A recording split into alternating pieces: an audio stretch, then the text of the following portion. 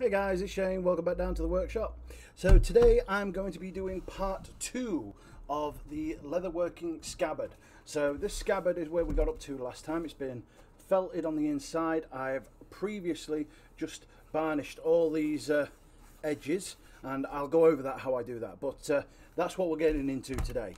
Hope you'll stick around and uh, join us for the rest of it. If you do, please hit the subscribe button and hit the uh, bell button. It'll alert you when I go live with new stuff. Okay, so let's crack straight on. So, this is where we got up to last time. Uh, since then, I have just varnished all these edges. Now, that's done with a bit of water and one of these tools, a varnishing tool. Uh, very simple. I've got two pieces here that I still need to do, so I'll go over that nextly. Now, these bits have already been redone. They just need the punctures putting into place, snapping on with either these uh, rivets or one of these snap-on clips. Okay, so that's all out of the way. So we're just to get these ready for varnishing. Now, this is an edging tool. Okay, very small little tool. And what I'm to do is just gently take off a little bit of each edge. Not too much. I don't want too much. Okay.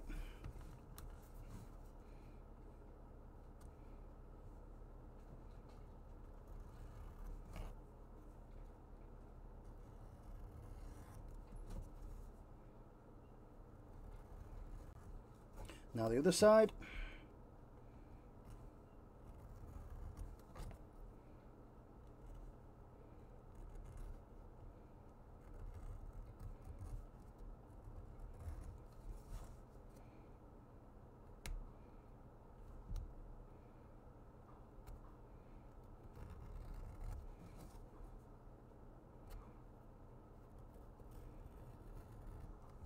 So that's both sides done. Okay.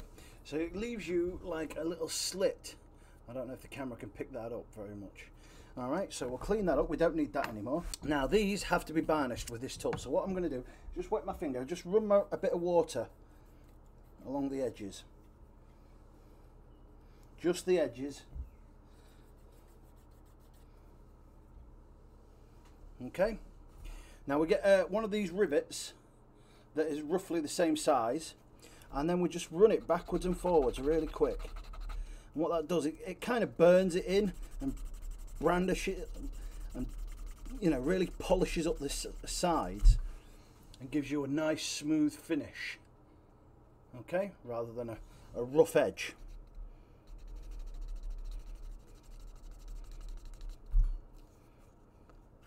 Doesn't take long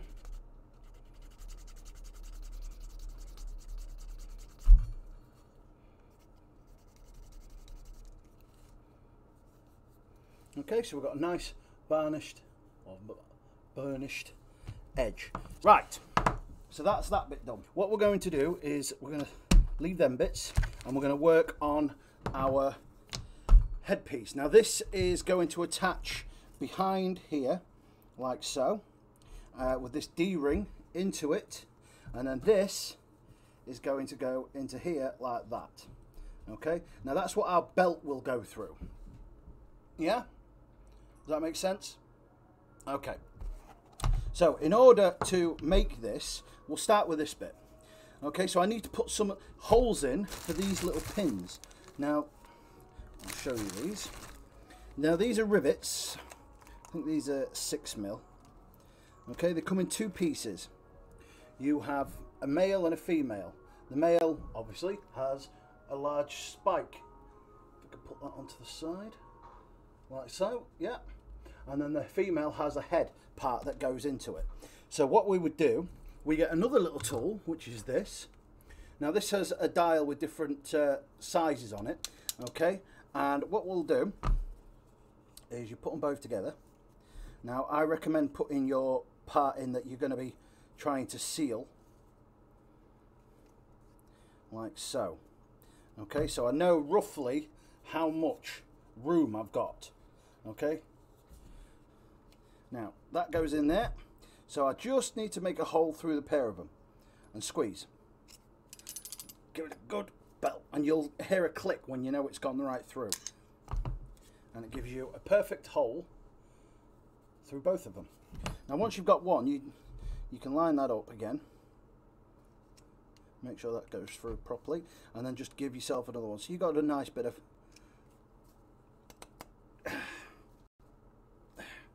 giving a bit of a round there we go so we've got two nice holes now put your ring through and what we're going to do is slide your male end through both holes if I can find the hole. Story of my life. Get in there. Alright, okay, so that just comes peeks through, look. And then we take the cap or the female end and sit that on the top and it'll just slot over. Okay, do the same for both ends.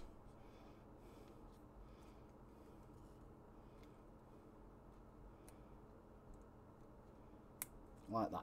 Okay, now what we need to do is crush that. Okay, so I have a little bit of a metal thing with different sizes in. Now, these do actually fit in that second one. Or third one. Third one. Okay, now, you should be using a proper hammer, but all I have is this one. So, keep your fingers out the way and just give it a little love nudge, okay? But, because I have this side around it, I have another little tool, a little stamp with a little rounded head which goes over the top of that, like so. So I keep my fingers safe. And that clamps it down and seals it. Okay, same with the other one.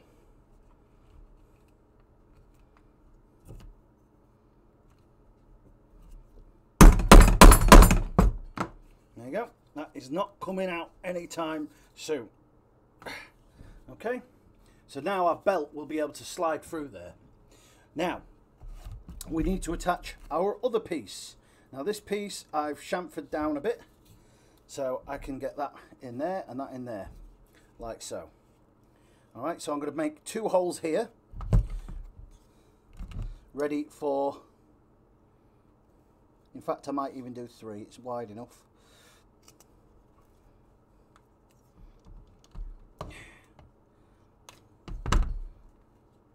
Did that go all the way through? No it didn't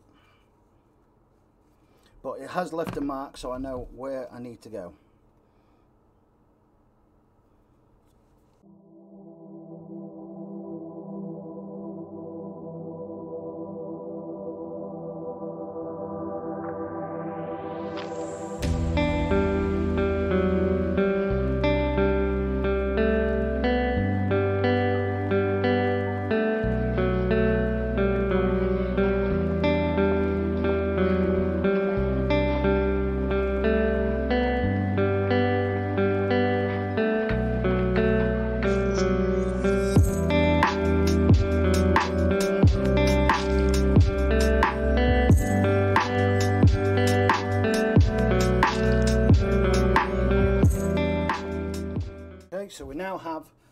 Belt attachment. Now I have varnished these sides and under here. Now this is going to be attached here. Now I can do this as far down as I want, okay, but I don't want it quite that far. I do want a little bit of height on it. So it can hang off our hip if we wish it to. Okay, so I don't want too much. However, I'm just going to trim the height a little bit. So it's got another two inches there. So I'm going to take it down to an inch and a half.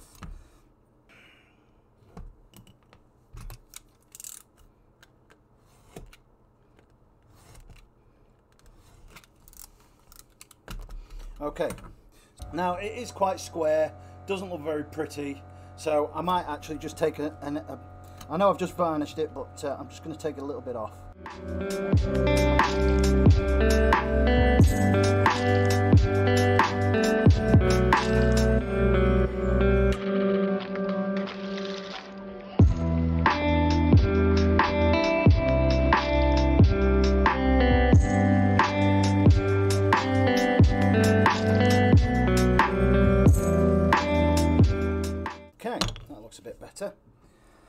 And now what we're going to do is I've got my line here so I can feed that up to there. And that is literally just going to go into there. And I'm going to make my attachment my hole here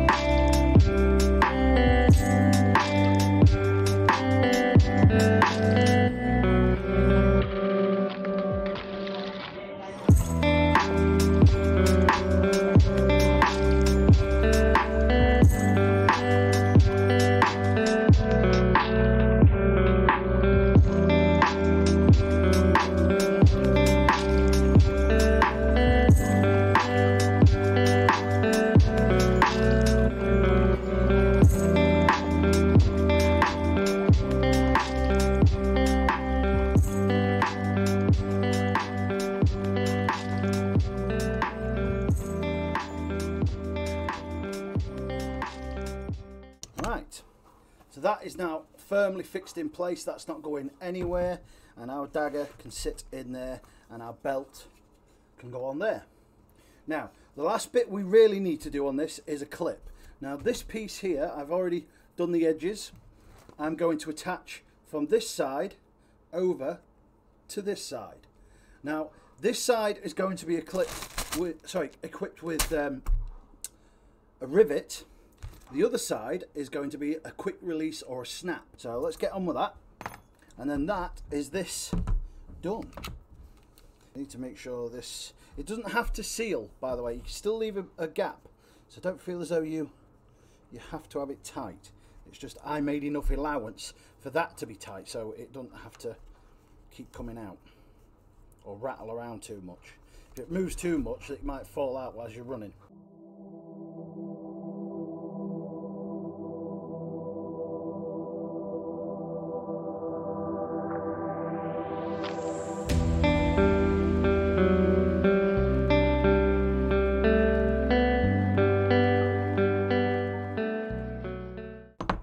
So that's in place now. Now, what I need are these pieces. Now, these are not rivets. These are like snaps like you get in the old snap shirts that you used to pull open. Right, so I've got the hole pill punched on both sides, ready to do this. Okay, so we've got our four pieces here. We have two posts and two female sections here. Now, the rounded head, if you're going to do this, make sure you use one of these which has got a rounded section in it which will stop that round head being crushed. Okay so what we're going to do is go on the round head on the outside push that through just like we did with the other rivets put it into a section that's not going to damage it. Now we want the female section to this which uh, has got a flange on the inside look I don't know if that can you can see that very well. Okay so this is the female to our outside as I call it the the polished side or the rounded head. Okay, that just slots just over the top, just like the other rivets. Now, the post has come up on the inside. You can't see that, but on the inside, the post is actually slotted through the female side. Now, what we get is one of these pins with a little rounded head, and we put that just on the flange, just a little bit, and we give it two sharp hits. Done. Okay, now that's set now. That will not move. Doesn't need much. Now, with the female side, we've got a flat head. Okay, that might be against skin, but in this case it's against our section here. So that bit goes through there. All right. Now this bit, you can use the back of this. All right. It's not an issue. So we're not going to damage anything like that. Now this side goes over the top. Like so and we need a different tool for this. Okay, so these ones have holes in the center so they can sit like so. And what that does is that goes over our piece like that and we give it a little nudge. Done. Nothing fancy, yeah? Like that. That will then go over the top and snap down and then we can unsnap it whenever we want. Yeah? So that will slot into there. That will go over the top. Done. Which will prevent our weapon from falling about. It's as easy as that. Okay, so she is done. That is our leather scabbard. Okay, so our scabbard is now finished. This will hold your belt through there and it will hang at your side. Nice and simple. You clasp quick release dagger will come out without wearing through onto this blade because we felted the inside. All right. Now the only thing left to do with this is to dye it any color you wish with proper leather dyes uh, so I've got to get in touch with the customer and find out what colour he wants this.